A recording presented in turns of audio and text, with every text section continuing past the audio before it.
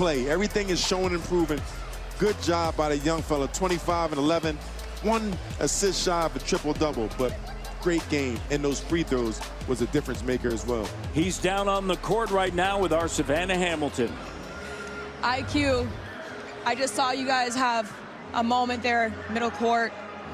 You guys have been through so much adversity and so much injuries. What did it mean to win tonight against one of the top teams in the East? And what was that moment just then for you?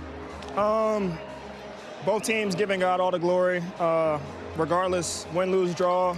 Uh, these past few weeks, I've learned a lot. Uh, just put life, basketball in perspective. Um, but through it all, God is good, and I appreciate Him for everything. So, just give Him thanks for the gift that He gives us, and we just try to go out here and uh, play hard. You had a near triple double. You're an absolute spark plug tonight. How did this one feel for you personally? Felt great. Um, obviously, not satisfied.